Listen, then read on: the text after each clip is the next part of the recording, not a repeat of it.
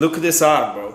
Look, look at this arm, bro. About 2500 years ago, a prince was born. His father wanted to save him from all the pain in the world, so he enclosed him in a palace to shield him and gave him a luxurious lifestyle. But the prince did not feel happy. He wanted to leave the palace, and so he did. Upon escaping the palace, he was shocked to discover human suffering, diseases, hunger, violence, death. In search of his happiness, the prince chose to live an ascetic lifestyle devoid of pleasure. That prince is called Siddhartha Gautama, and he founded the religion of Buddhism. I'm not religious and this is not a religious video, but that pleasure is not happiness was known 2500 years ago so why are you ruining your life right now? In this video I'll explain why the pursuit of pleasure ruins life,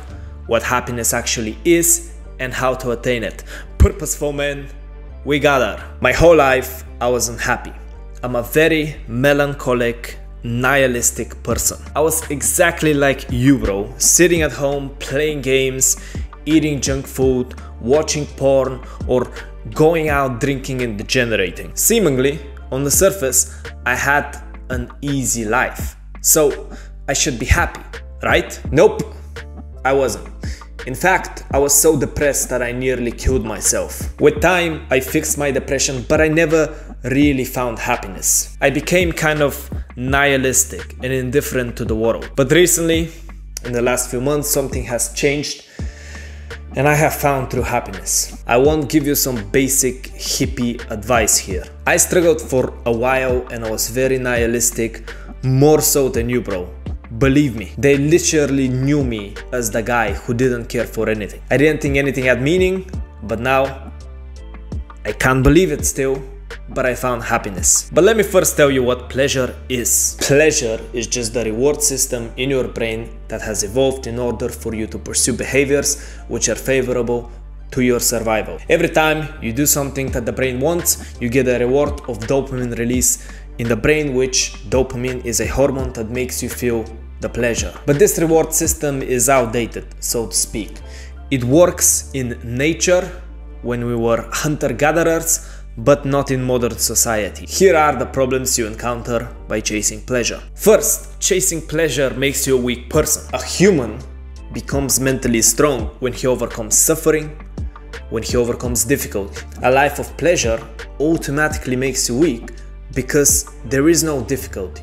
So you don't grow, you don't improve, you don't adapt when things are easy. If some of you are wondering why they're depressed, without reason and life seems so difficult for them, that is because you are a mentally weak person. Every time things get hard, you hide behind music or anime or games or porn or substances, just anything to save you from the pain of what life truly is. But like this, you will never grow in life and you will forever remain depressed. You have to face the reality and build mental strength, but this will never happen if you constantly chase pleasures. The second problem that pleasure creates is that it corrupts people. All human corruption stems from someone being selfish and chasing their own pleasure without caring for other people. The corrupt politicians chase money and power for their own pleasures. The killers kill for their own sick pleasure. The predators attack children for their own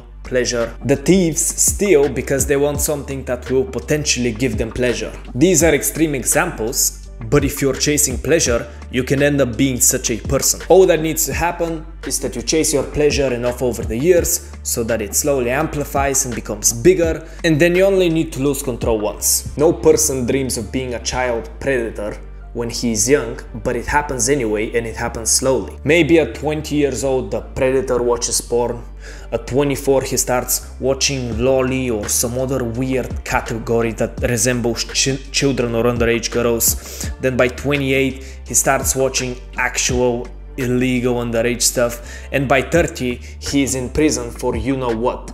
It's gradual it builds up. Pleasure creates corruption in the human soul and it does so slowly. It's like the opposite of self-improvement, it's self-degeneration. If you want to be a depressed person, a weak person and a corrupt person, then go ahead. chase pleasure, but if you want to be happy, listen to me and listen closely. This is the rawest advice that I never found on YouTube. I figured it out by myself. Happiness is completely internal, it's in your head. It does not depend on what is happening in the outside world, whether it's suffering or pleasure. Happiness is this consistent satisfaction you feel from life, even when things are hard. You know you're happy when your life gets difficult, there is suffering, but you still feel happy. Yesterday I felt demotivated for the whole day. I don't know why, I just felt terrible, I felt demotivated, I barely uploaded a YouTube video, but despite the difficult day, I was still a happy person. Happiness is that inner fulfillment and the love of life with all its aspects, whether it's pain or pleasure. To achieve this constant happiness and fulfillment in life, three things need to happen. First, you need to find your meaning in life, find your purpose. Second, you need to become productive and hard working on that purpose. Third, you need to learn to enjoy the present moment. Let's start with the first one. You need to find your purpose in life. Being nihilistic and viewing everything as meaningless is completely destructive to any form of happiness. So what if there isn't a God? So what if the sun will implode in 7 billion years and humanity will end? So what? Life doesn't need to have a deeper meaning. Your meaning is found in other people. You look at the children on the street and tell me their futures mean nothing. You look at people starving and dying and tell me their suffering means nothing. You fall in love with a woman and look at her in the eyes and tell her that your love means nothing. I refused. We might not mean anything to the universe, we might not mean anything to a God, but our life, our human life, should be meaningful to us. Humanity is important for me and human life is important for me. I don't care what the universe says. I don't care if there is a God or not. Because life can be beautiful and that is enough meaning for me. A purpose in life is found there where you can contribute that humanity with your talents. If you want to find your purpose, pursue your talents even if others are saying you shouldn't. I found my purpose by doing the exact stuff people told me is risky and I shouldn't do it. I did not go to university because I wanted to start a YouTube channel, but it was the best decision of my life because this pursuit of what truly interested me, despite the objections of my family and friends, led me to uncovering my purpose, finding my meaning in life and becoming happy. If I had gone to university, I would have either quit by now or I would have still been nihilistic and depressed. So if you want to be happy, pursue what interests you.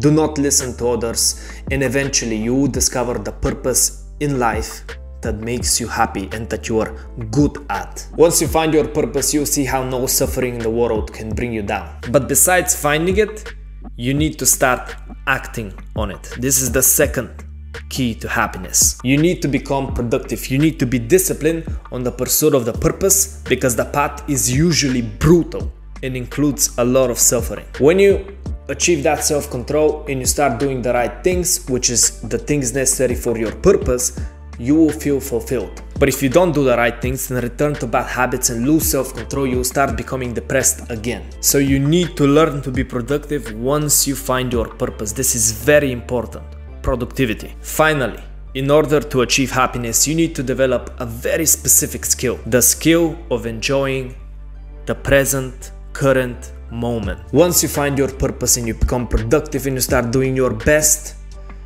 from there, you need to learn to just enjoy life for what it is. There will be suffering, there will be negative emotions, there will be failures and frustrations, but you need to learn to enjoy all that. Happiness is a choice and happiness is a skill. The skill of enjoying the present moment no matter what is happening. So if you're being productive on your purpose, you can simply remind yourself to enjoy life no matter how hard it gets because each experience is valuable. You're walking the path you're supposed to walk, you're doing what you're supposed to, you're doing your best, and from there you must value each and every single experience. Doesn't matter if it's positive or negative. Every experience is valuable. Learn to enjoy it. With time, you'll see how you become very good at the skill of enjoying the present moment. So, in summary, pleasure leads to depression, weakness, and corruption. Happiness is completely internal and independent of pain or pleasure. It is achieved by finding your purpose in life that gives you meaning, becoming productive, and doing your best in achieving that purpose and learning the skill of enjoying the present moment. Thanks for watching. If you like this type of content and you believe in me as a creator who can help people, then join the movement and become a purposeful man. If you want to further support me, then check out the description and remember, if you don't achieve your purpose, nobody will. Be ruthless. Whew.